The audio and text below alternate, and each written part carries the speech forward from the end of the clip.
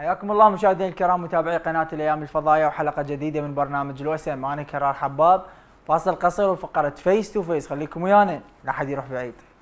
أهلا بكم مجددا مشاهدينا الكرام في فقرة face to face حيث الأخبار والمواضيع والأحداث والترندات المحلية والعربية والعالمية اللي دائما ما تكون موجودة في برنامجنا برنامج الوسم ولا مواضيعنا وأحداثنا في هذه الفقرة.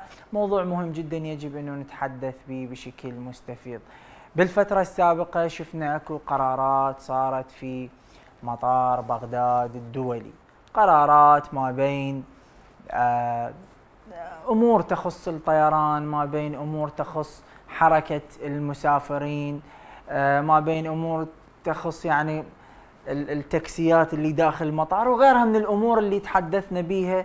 وكان أكو إشراف مباشر من قبل دولة رئيس الوزراء حول هذا الموضوع. اللي هو موضوع مطار بغداد الدولي هسه إحنا يوميا جاي مدير للمطار ويوميا مسوي لهم شغلة و و و الموضوع شنو؟ وهسه البعض راح يقول لي اكو شيء غريب بالموضوع، إيش جاب النزاهة على هيجي على مدري شنو؟ هيئة النزاهة فتحت تحقيقات بحق مطار بغداد الدولي. تحقيقات أمور نزاهة بدوائر هواية بأمور هواية ففتحوا تحقيقات لقوا خروقات كثيرة جدا. كثيرة وبيها أموال وبيها أمور لازم تصير. بس أبرز شيء لقوه اللي هو راح نشوفه إحنا وياكم في مطار بغداد. طبعا نرجع لكم بعدين على الباقيات بس خلي ناخذ الأبرز. توقف 18 طائرة 18 طائرة من أصل 35 تمثل أسطول الشركة. توقف 18 طائرة. هذا نش يردن الطيارات. يردن مبلغ 170 مليار. حتى يتصلحن. 18 طائرة من أصل 35 ما مسوي لهن صيانة. آه يردن 170 مليون دولار حتى يسوي لهن صيانة. طيارات اكو بهن عاطلات اكو بهن صيانة. 18 طائرة من أصل 35 هذا هو الرقم. إضافة إلى الديون المستخدم المستحقة على الشركة 365 مليار 37 مليون دولار خسائر العقد مع شركة آه، منزس البريطانية. آه، لقت إنه عدد موظفي الشركة 4149 يعني ضعف عن الحاجة الفعلية ضعف عن الحاجة الفعلية. يعني يجوز الحاجة تقول 2100 2000 وهالقد هم 4000 زين. آه فهاي التحقيقات هيئة النزاهة تتحرى أداء الشركة العامة للخطوط الجوية العراقية. الطائر الأخضر. الطائر الأخضر. أكو بلاوي ورا. يا ناس اشتغلوا. اشتغلوا للمصلحة العامة. يوميا جايكم رئيس وزراء يوميا جايكم جايتكم نزاهة يوميا جايتكم رقابة يوميا يوميا هسه ما تعبتوا. ايد اشتغل أدري هاي الطيارات ال 18 طائرة. هذني اللي راد لهن 170 مليون دولار. وين كنتوا عنهن؟ أرباحكم وين جاي تروح؟ أرباحكم وين جاي تروح؟ طيار 18 طائرة من أصل 35 تمثل الشركة الشركة العامة للخطوط الجوية العراقية. يحتاج لهم صيانة. ووقفوهن. ما راح يطيرن بالتالي راح يصير ازدحام على الطيارات البقت اللي هن 18 من أصل 35 شيل 18 إيش بقى من ال 35 بقت 17 على ما أعتقد. 17 طائرة. زين. لذلك هاي الأمور آه يعني اللي لقيتها هيئة النزاهه أبرز شيء لقيته هي الطائرات ال 18 طائرة. خلينا نشوف تعليقات المواطنين حول هذا الموضوع ماذا كانت. علي يقول هو العراق كله متوقف وكله يراد له صيانة. الله وكيلكم. أي شيء تابع للدولة دوائر حكومية ما يطول سنة. تشوفوها مفلشة. اللي يقول هاجمين عليها المغول هذا تعليق من علي. صفحة باسم استشاراتكم القانونية. هسه أنا ما أريد استشيرك قانونيا. وراح أقرأ تعليقك. راح أقرأ يعني لله بالله. يقول قسما بالله مرة سافرنا من وصلنا المطار الدولة الأخرى الإطارات ما ينفتحن. فيلم أجنبي هذا. فيلم أجنبي.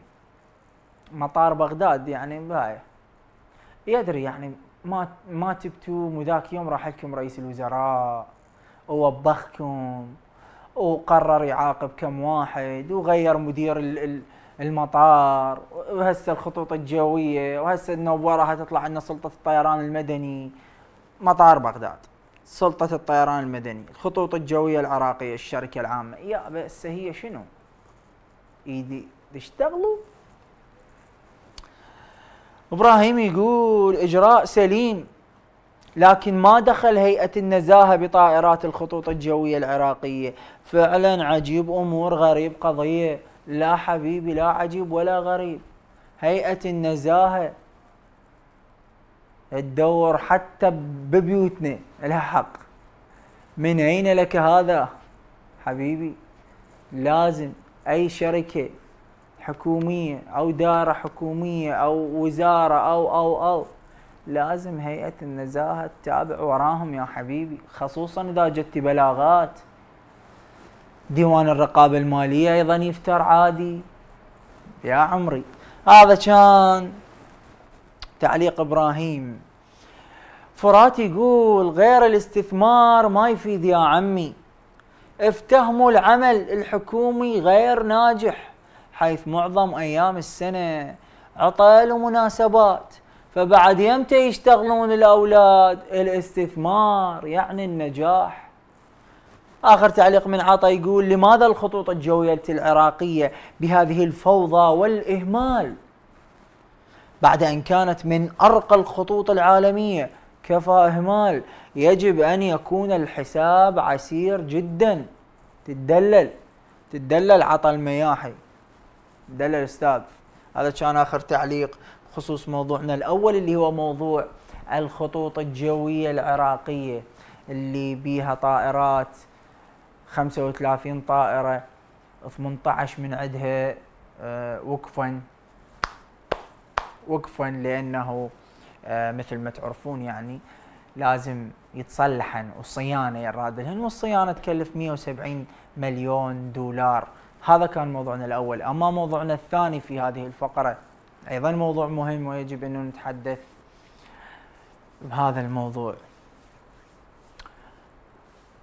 الدراجة النارية وسيلة يستخدمها عدد أو شريحة كبيرة من الناس. أضف إلها التوك توك آه، اللي هو وسيلة نقل أيضا أكبر من الدراجة النارية. يستخدمها الناس أكثر.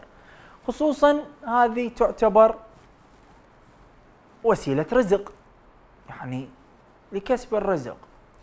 الدراجة يجوز استخدام شخصي يعني بس يوصل صاحبه وبس.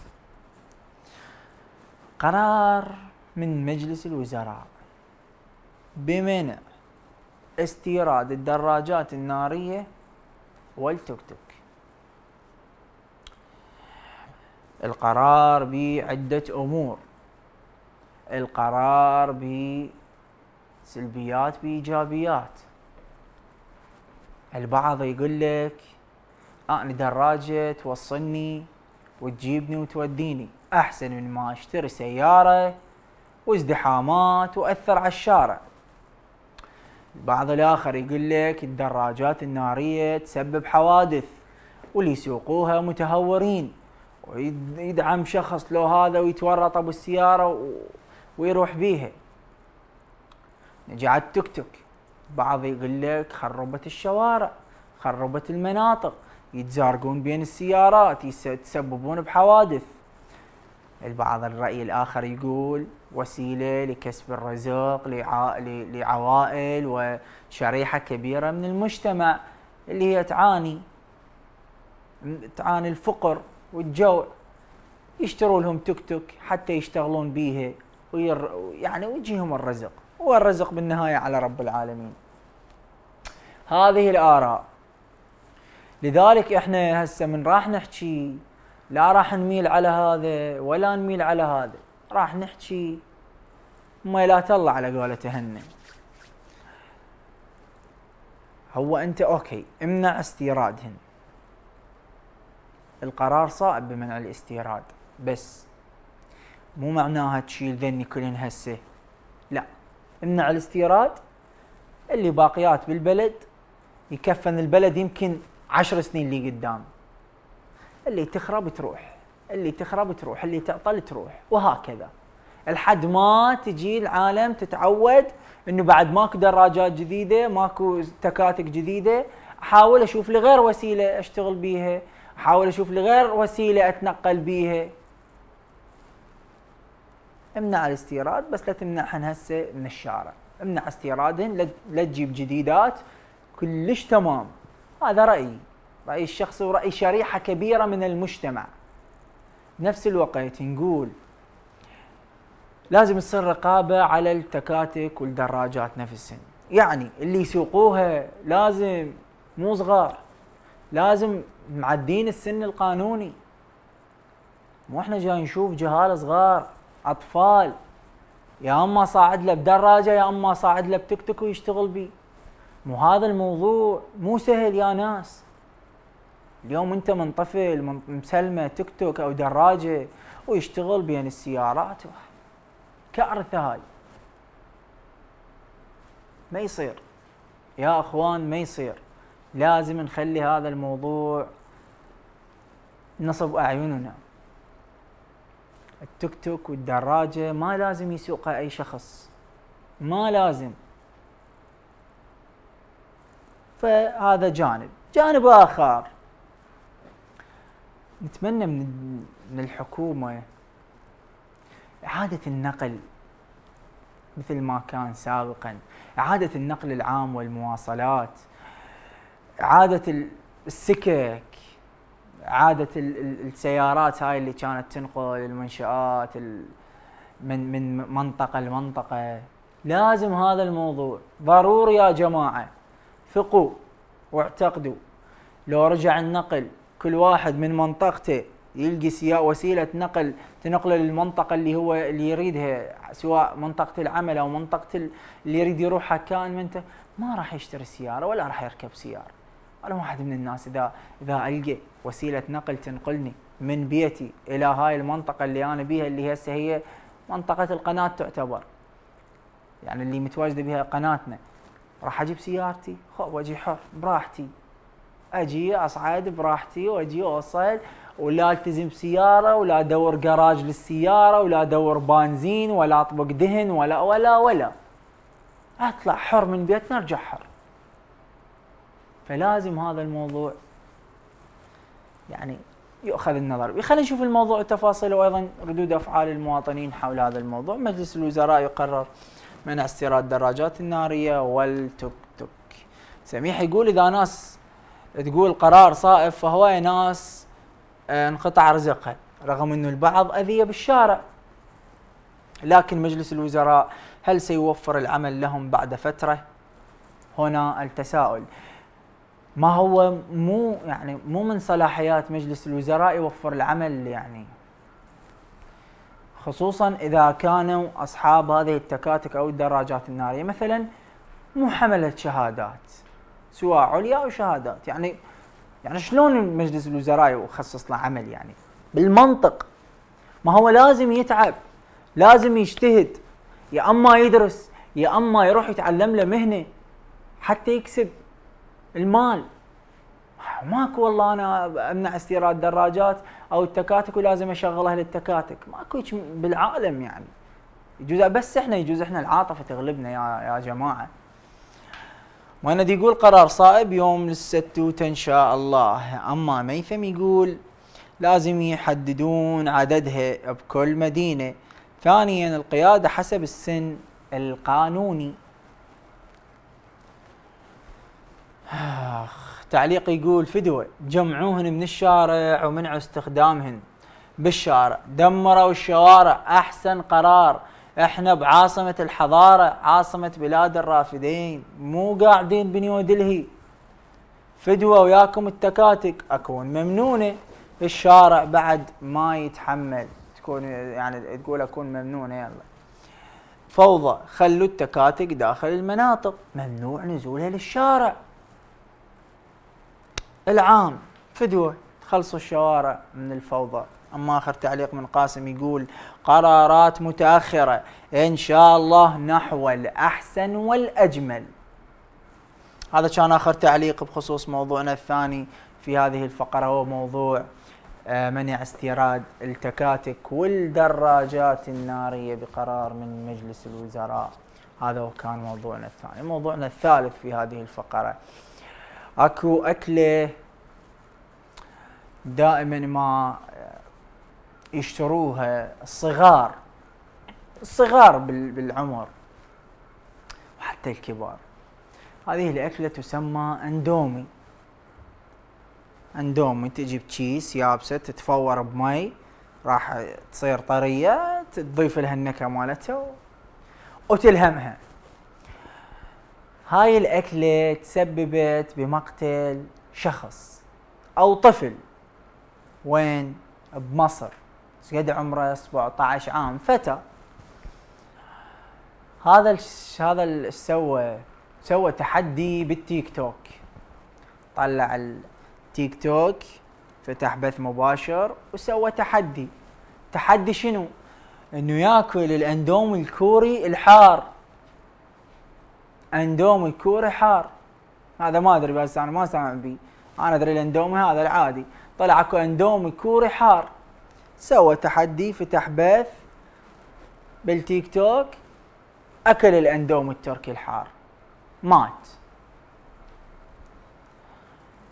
هذا ترند يعني رائج في مواقع التواصل الاجتماعي العربية وأيضا في العراق يعني.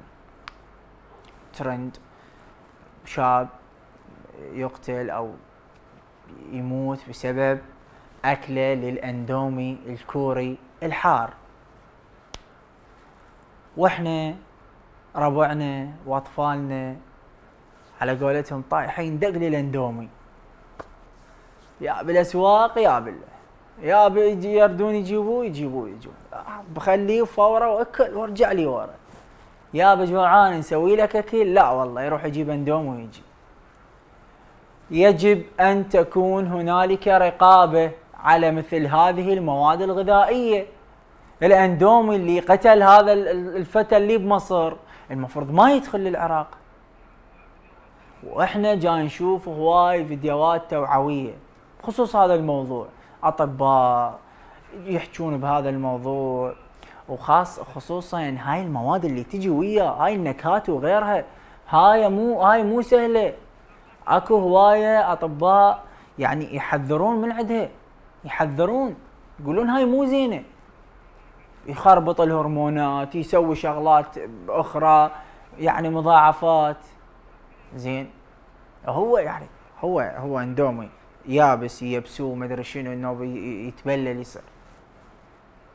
يقتل. زين. والزيت مالته ما أدري مين. هو يعني أنت شايف لك أكلة بربع دينار. هي من منا وقيس لا عاد إيش قد تعبانة؟ إيش قد بيها مواد أولية بسيطة؟ ممكن تأثر على صحة الإنسان. أكلة ب 1000 دينار. زين. أسوي أجيب السباكيتي على معكرونة وخلي الحجية تسوي لك. خلي أمك تسوي لك. زين. أكل بيت وقدامك ونظيف وهذا. ليش أروح أجيب أندومي جاهز والله هذا؟ فعلى آه وزارة الصحة. طبعا واحد من يشوف الأندومي والله هسه ويشوف هاي. ترى الحمد لله أنا لحقت لحقت على المحروق الصبعة. الله الله يرحمه أيام المحروق الصبعة. كنا ننجمع وناكل محروق الصبعة بأيام الحصار وأيام الحرب محروق الصبعة. زين. طيب. طيب. بيه لذه كنا ناكل خبز ورقي مثلا. كنا ناكل حليب وخبز نخبطه هني صار ثريد كل شيء كنا ناكل. زين. خبز بالدهن. ها الخبز بالدهن ماكو. انقلي وندير عليه شوية شكر لو هاي السوالف ودهن وناكل. خبز بالدهن.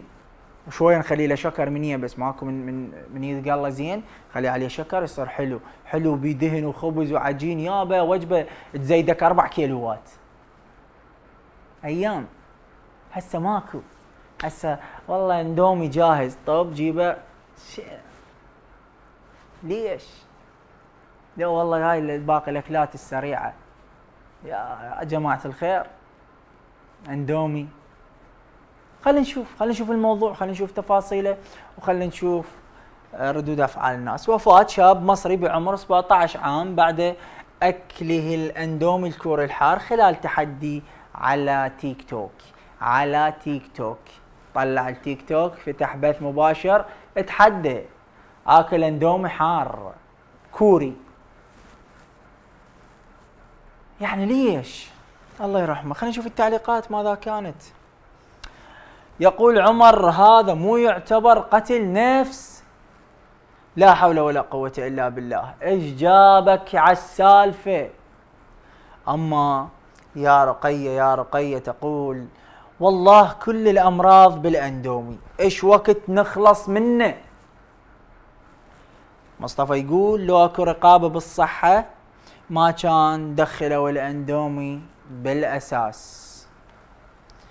أما سارة تقول ومن يقول صوتي الاندومي يجوز هو مريض الظاهر أنت تحبين الاندومي الظاهر أنت تشترين الاندومي هوايه سارة.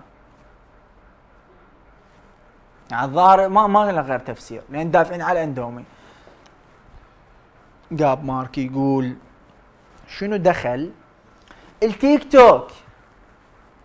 الولد توفى بسبب الإدمان على أكل الاندومي يوميا. وهذا الكلام واحد من اهله بفيديو على الإنستغرام. انه طلع مدمن عليه. طلع مدمن عليه. يجوز التيك توك كان وسيلة حتى الناس تشوف إنه هو مات بسبب اكل يعني يجوز كان وسيلة. لأن لو ميت هو ماكل إندومي يعني ما ندري. أو ما حد يقول هذا الإندومي. يجوز التيك توك كان وسيلة. اللي عرفتنا. ولا هو التيك توك يعني يعني ناس قامت تسوي شغلات في التيك توك يعني غريبة عجيبة. يفتح بث مباشر مثلا هاي بريطانيا بلندن يفتح بث مباشر ويطب للبيوت للعوائل يصور بيهم ويأخذ ردة فعلهم. هاي شنو؟ تيك توك هم دمار. هذا كان آخر تعليق بالمناسبة. يعني كان آخر تعليق بهذا الموضوع. لذلك نغادر موضوع الاندومي آه اللي الكوري الحار اللي اكله شاب أو فتى مصري عمره 17 سنة بعد تحدي على التيك توك وفارق الحياة مع الأسف. موضوعنا الرابع والأخير في فقرة face to face. للأسف منتخبنا الشبابي في مستهل مشواره في بطولة كأس العالم تلقى خسارة كبيرة وموجعة من منتخب اورجواي برباعية كانت المباراة الأولى. رباعية يعني رباعية مخزية. ولكن نتأمل بهم خير. اليوم مباراة جديدة مع تونس. المنتخب العربي الشقيق تونس. نفس التوقيت نفس الملعب. نفس التوقيت نفس الملعب. الساعة ب 12 اليوم ب 12 يعني هو هي راح تصير يوم الجمعة بس يعني دخلت يوم جديد يوم الجمعة بس هي إحنا نعتبرها اليوم. أي يعني مو مثلا يعني واحد يقول ها الخميس لو الجمعة لا. هي اليوم بالليل. وأنا بيا طبع ما أحسب اليوم إلا انام إذا أبقى قاعد أبقى أقول اليوم. إلا انام واقعد يلا أحسب يوم جديد. فاليوم فد شوية هسه إحنا شو اسمه فد شوية ب 12 زين؟ ما باقينا ثلاث ساعات أربعة. فد شوية ب 12 المباراة. ليش واحد يقول ويا من ويا تونس؟ نفس الملعب ونفس التوقيت. خلي نشوف إيش عندنا من مواد. طبعا بالمناسبة إحنا نتمنى إنه يعوضون. نتمنى إنه آه، يقدمون مستوى جميل جدا. خصوصا اللي صار بالمباراة الأولى الأرجنتين خسرت بالافتتاح مال كأس العالم يعني للرجال وأخذت البطولة. فلا تخلون هذا الموضوع يسبب شيء سلبي لكم. زين أنتم أبطال. يقول منتخبنا الشباب يواجه نظيره التونسي مساء يوم الخميس في تمام الساعة 12 ليلا بتوقيت العاصمة بغداد الساعة السادسة عصرا بتوقيت بوينس آيرس ضمن الجولة الثانية من منافسات المجموعة الخامسة. لمونديال الأرجنتين دون 20 عاما؟ هذه بوستر المباراة. هاي من الاختتام التدريبات. يقول اختتم منتخبنا للشباب تدريبات عصر الأربعاء بتوقيت العاصمه بوينس آيرس في ملعب خيمينيزا في مدينة دي لابلاتا استعدادا لمواجهة نظيرة التونسي. يقول التدريبات حضرها رئيس الاتحاد عدنان درجال وعضو الاتحاد محمد ناصر وخلف جلال حيث توزعت التدريبات على بعض الجوانب التكتيكية والتنظيمية الخاصة بمباراة الخميس مع فرصة توظيف بعض اللاعبين حسب الواجبات التي ستناط لهم في المباراة التي يعتبرها الجميع مفصلية للمنتخبين العراقي والتونسي كون المنتخبين تلقيا الخسارة أمام الاورجواي وإنجلترا في وقت سابق. شاهد الجهاز التدريبي واللاعبون مباراة منتخبنا أمام الأوروغواي للوقوف على الأخطاء وتصحيحها من قبل الجهاز التدريبي. والذي قد يدفع بأسماء جديدة في مباراة الخميس أمام تونس. كما شاهد الجهاز التدريبي واللاعبون مباراة تونس وإنجلترا لمعرفة مناطق القوة والضعف. تدريبات الأربعاء شهدت غياب لاعب منتخبنا الشبابي محمد عماد محمد عنها. بعد تأكيد إصابته بالتهاب الوتر الأخيني وأجريت له الفحوصات الطبية والتي أكدها طبيب المنتخب عبد الكريم الصفار. حيث تأكد غياب اللاعب عن الملاعب عشرة أيام كما شهدت الوحدة التدريبية حضورا إعلاميا من قبل القنوات العراقية الفضائية وبعض مواقع التواصل المعتمدة بالإضافة إلى القنوات العربية وموفد الاتحاد العراقي للصحافة الرياضية. هذا كان آه بيان التدريبات. هاي صورة من التدريبات. هذا يوسف أمين المحترف في آه، الدوري الهولندي ولاعب منتخب ناشئين ألمانيا سابقا. يوسف أمين. رومان دولاتشي أيضا لاعب منتخب ناشئين ألمانيا سابقا وأيضا محترف في شالكة الألماني. حسين حسن حارس مرمى منتخبنا الشباب حارس مرمى نادي الكرخ. هاي صور من التدريبات. أيضا يظهر اللاعب عبد القادر أيوب وهاي من التدريبات. كابتن عماد محمد. التعليقات. يقول 2-0 لتونس وغياب محمد عماد لا يعني عذرا من أجل إرضاء الجمهور. هاي الكلاوات بطلوها. ليش من دون اللاعبين صار عنده التهاب؟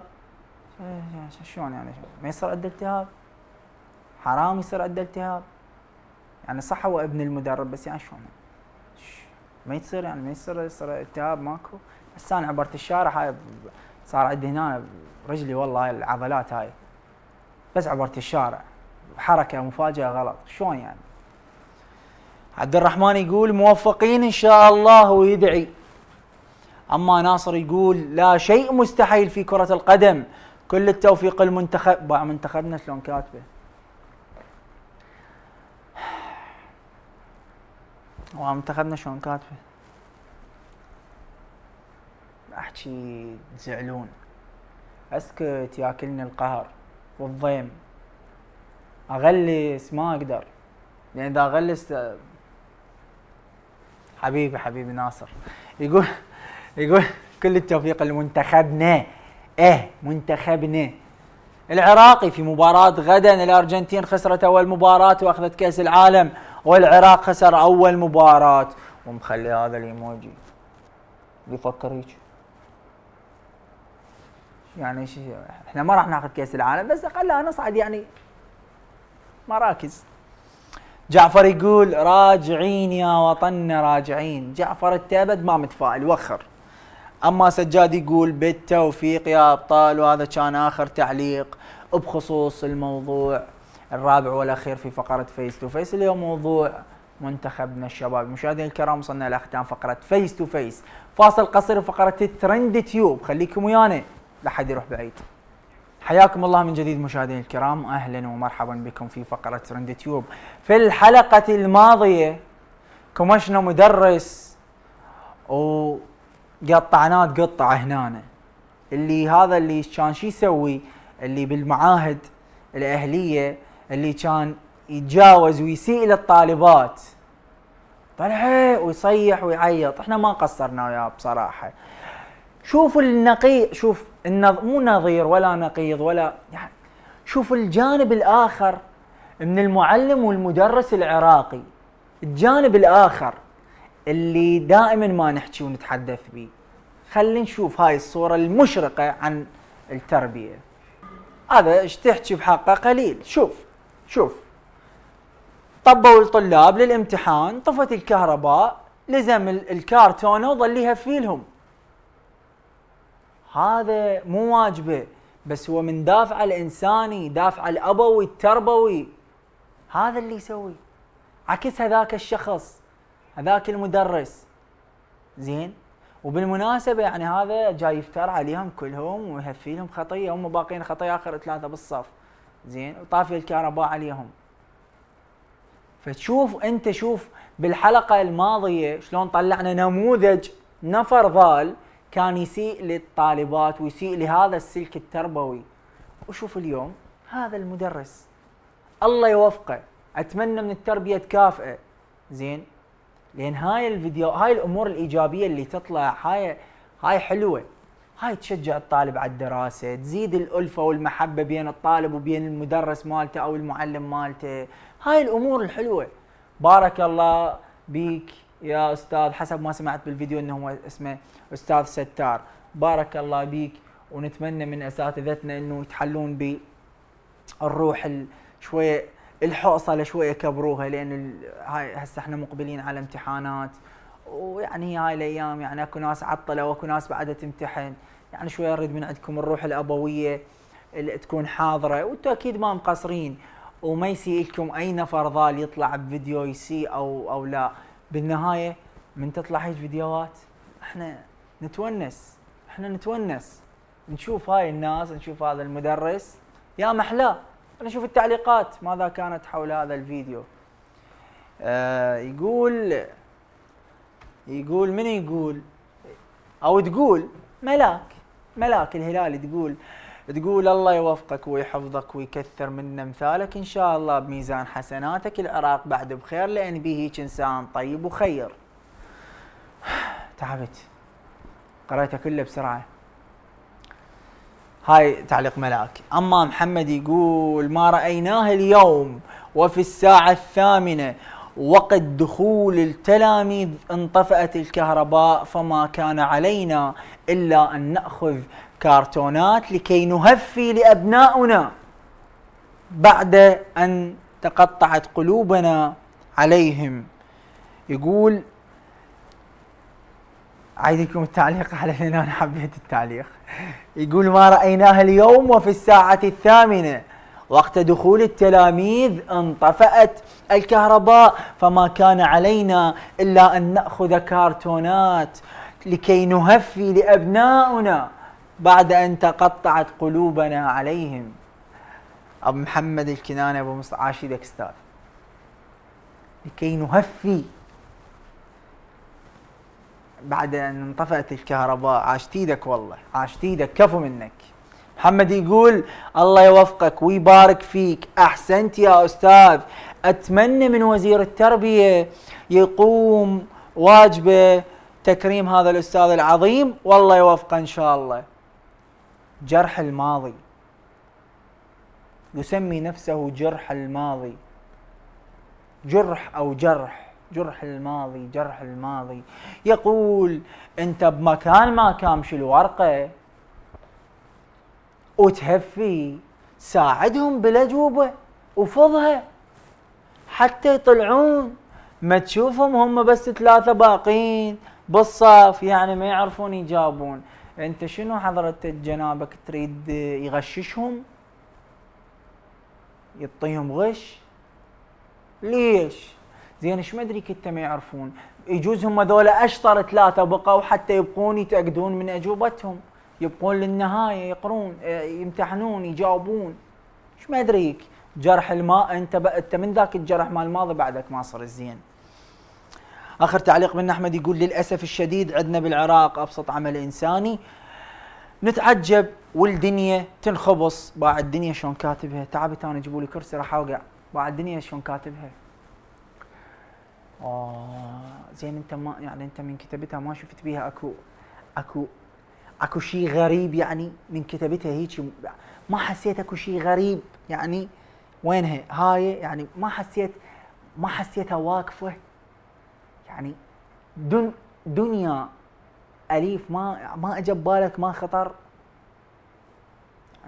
أبد ما هو بيم تنخبص لأن ضاعت عندنا الانسانية. لو يشوفون بأوروبا وأمريكا الأعمال الإنسانية والخيرية. كان بعد ما حد يتكلم عن هاي الأمور البسيطة. هي صحيح مضبوط بأوروبا وأمريكا.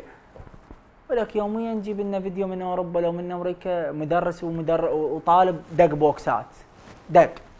ذاك يوم جبنا فيديو طالب كمش مدرس سحل القاعبي جبنا فيديو ثاني مدرسة كمشت طالبة سحلت القاعبيها يا ثانية تحكي عليها. ثانيا ثانية بالتيك توك يصورون والله مقالب بيهم بالمشردين والجوعانين. يروح يجيب لهم أكل يقول له تاكل يقول له اي ياكل قدامه وما ينطي. يا انسانيه تحكي بيها. لو بس تريد تعلق أحمد احمد بس تريد تعلق وقبل. هذا كان آخر تعليق من قبل.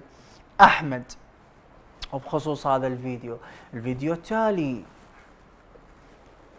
من أقليم كردستان من مجلس النواب. لنشاهد هاي هيك هاي هيك يعني هيك هاي. هيك بوكسات صايرة.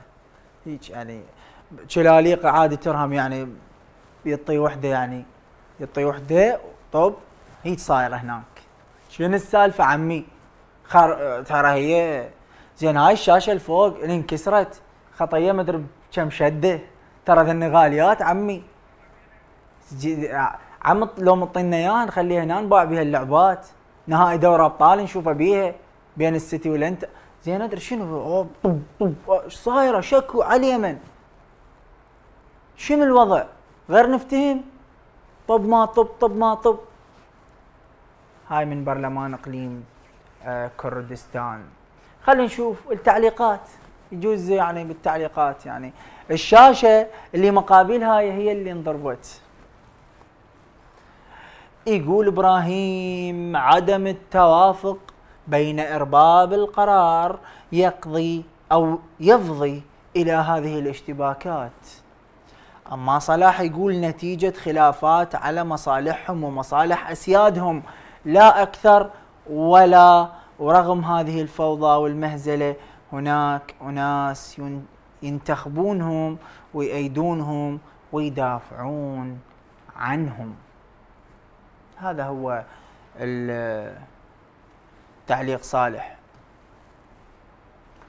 زياد الركابي يقول ليبدو إن الآية جدا واضحة التي مكتوب عليها وأمرهم شورى بينهم. أي فعلا هي واضحة كانت.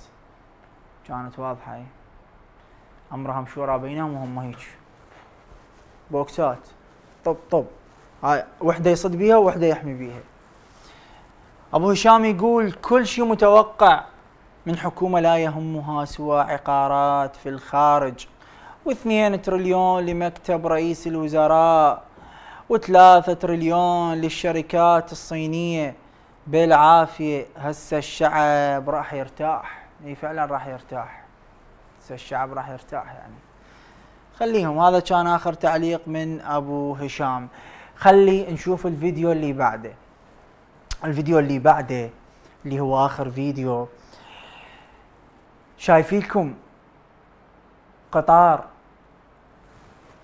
يدوس الفرامل ويوقف يدوس brake ويوقف ينزل على مود يقتل واحد يكفخه كفخه وهو يستحقها. خلينا نشوف الفيديو. حلو أبو زايد. حيل بيك. شوف شوف شلون واقف باوع واقف قبال القطار ويسوي له هيك ماكو طريق. شلون فوخ قلبه من نزل يا يا با با با نزل له. طبعا هاي صارت على المباشر. اكو أكو آه مراسل جاي يسوي stand فجاي يسوي هنا وبالصدفة بالتصوير طلع هذا الشخص. شوفوا لي شلون نزل سحب لزم brake ونزل له باو باو باو باو, باو. شلون جاء شوف. شوف شوف شوف شوف شوف شوف شوف شوف شوف. طب ريح قلبي. وهذا بعدين طلع يعني هاي بالهند طلع بعدين يقولون هذا آه يعني مخمور. زين وجاي يلعب على السكه يقول له أرجع ماكو طر شنو؟ شو بس والله نزل لك كفخة كفخة يا الله. فوخ قلبي. خلينا نشوف التعليقات. خلينا نشوف التعليقات حول هذا الموضوع. خلينا نشوف التعليقات. شو يقول أو شو تقول أحتاج أحد يضربني هيك وعيني على الامتحانات. كفخه هيك هيك هوب كفخه معدلة. وصلت حبيبي. تعال. شهد تقول لو داعمة ولا هاي السطرة. صدق لو داعمة ولا هاي السطرة. أما إي ارت تقول بهاي ضربتك فقدت فقدت الذاكرة. لو داعمة أفضل. عمي ليش يدعمه؟ أخليه ضربه ولا يدعمه؟ سوسة تقول هي هنود بعد ما عليهم عتب. آخر تعليق يقول يستاهل الكفخة. سوى شلون كفخة؟ كفخة بعد بيتي سوى له طراق. واقف قبال القطار بيسوي ماكو طريق ارجع سوى له هيج. هذا كان آخر تعليق وآخر فيديو. مشاهدينا الكرام وصلنا لختام حلقتنا لهذا اليوم من برنامج الوسم حتى ألتقيكم في الحلقة القادمة قلت لكم في أمان الله